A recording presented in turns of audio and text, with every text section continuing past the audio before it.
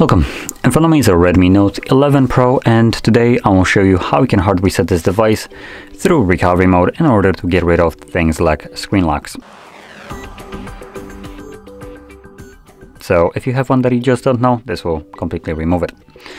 Now, before I get started, I will mention that by doing so, you will most likely uh, lock your device because for the most part, majority of the people do have a Google account logged in on their devices. So we go into settings and accounts and sync. If you have an account right here, uh, this account will become a verification method after the reset is finished.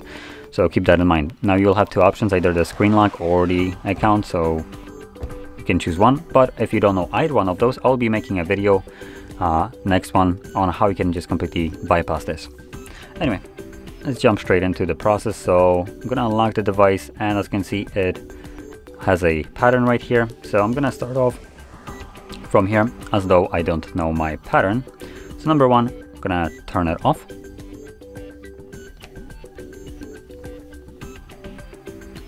Once the phone turns off, hold power key and volume up at the same time.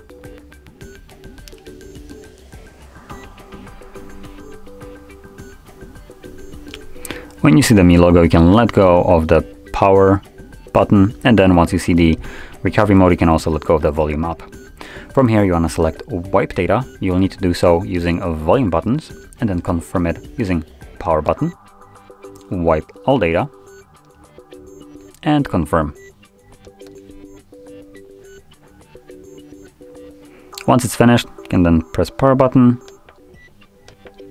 for basically till the device reboots.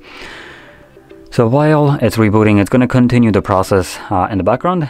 So it might take the device a little bit longer to boot back up, but don't worry, that is completely normal. Once it's finished, we should see our Android setup screen. So I'll be back once that is visible for me.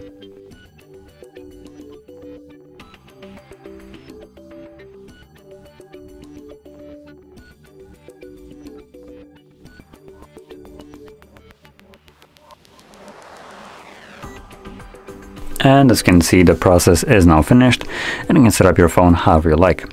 Now, like I mentioned also before, if your device becomes FRP locked, I'll be making a video on how you can bypass this. So if that is something that you're interested in, just look for the next video.